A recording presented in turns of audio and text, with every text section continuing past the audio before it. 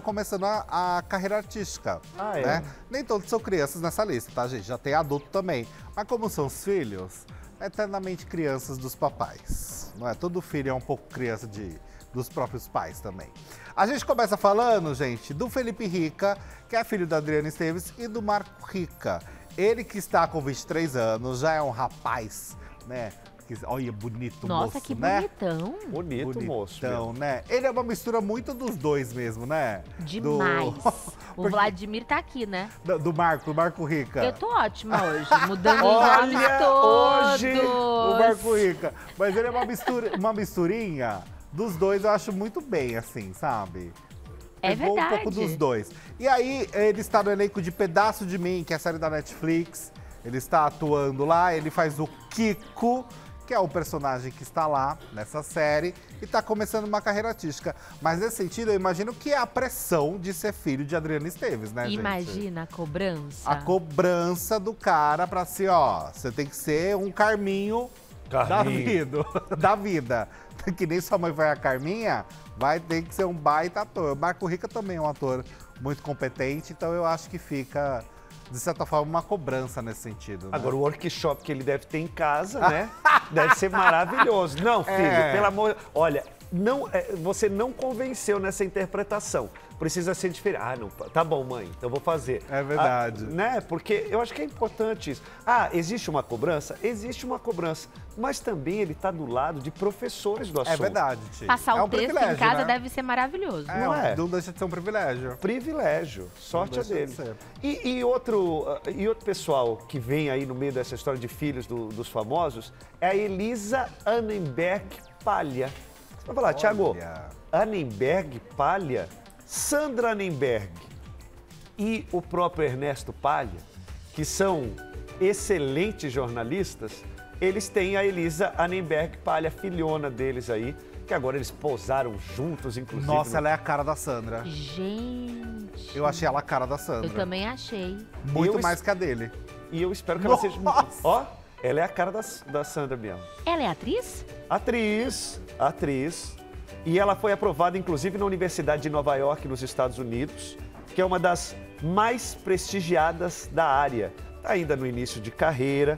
Para quem não sabe, a Sandra Nemberg, antes do jornalismo, foi atriz É também. verdade. Estrelou comerciais, inclusive, de uma marca de sanduíches e fez algumas pontas em telenovelas na própria TV Globo. Depois ela entrou para o mundo do jornalismo e se consolidou aí com uma das mais eh, prestigiadas do nosso país, junto com o Ernesto Palha, que faz coisas maravilhosas na televisão. Não são muito simpáticos, é verdade, mas Não são, não são muito simpáticos. Mas são extremamente talentosos E competentes, né? competentes, dão aula do que fazem. Extremamente. Ela faz musical também, né? Ela tá tentando ir pra carreira mais musical, de teatro musical, que ela gosta de cantar. Ela tem uma cara de gente boníssima, É, né? tem mesmo. Um rostinho assim de uma criança muito feliz. É, então, uma cara angelical, né? Super.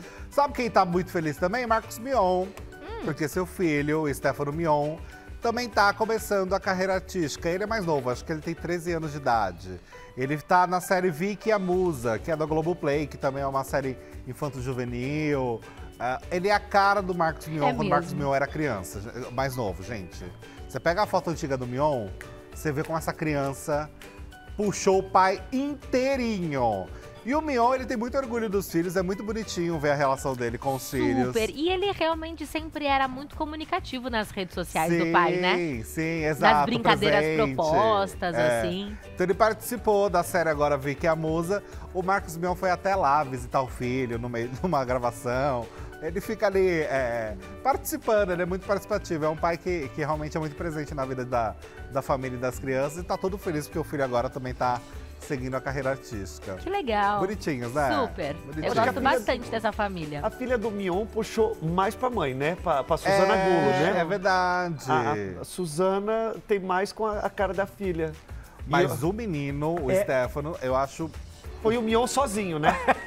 Exato! sozinho Saiu da barriga dele, inclusive. É o né? Mion Porque- descabelado. É, exatamente. E o Romeu lá também, uma família muito, Muito querida. querida. Muito. é. Um beijo Muito pra Bel, mesmo. que é vó dos meninos, todos aí. Um beijo pra Bel Gulo, Um beijo querida amiga. pra ela. E vamos pra outra família? Quem? Vamos pra família Shemesh. Ah! Schmidt. Família BBB? Família BBB.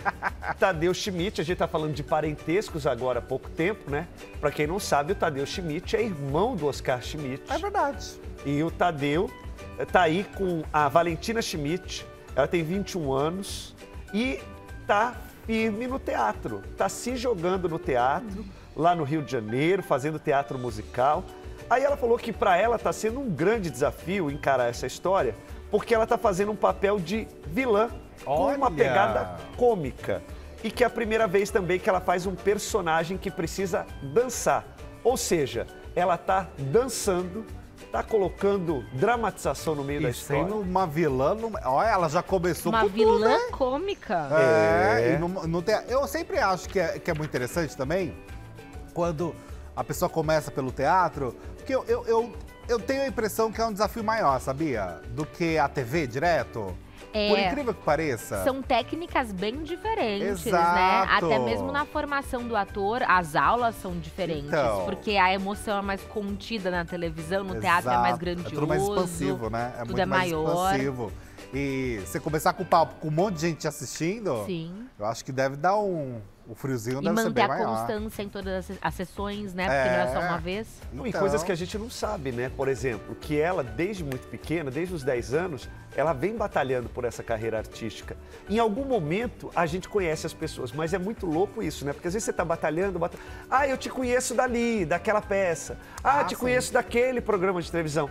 Mas muitas vezes, a ralação é de muito tempo para em algum momento eu falar, poxa, que bom que agora eu tô caminhando e estou Sim. colhendo os primeiros passos dessa Exato. história.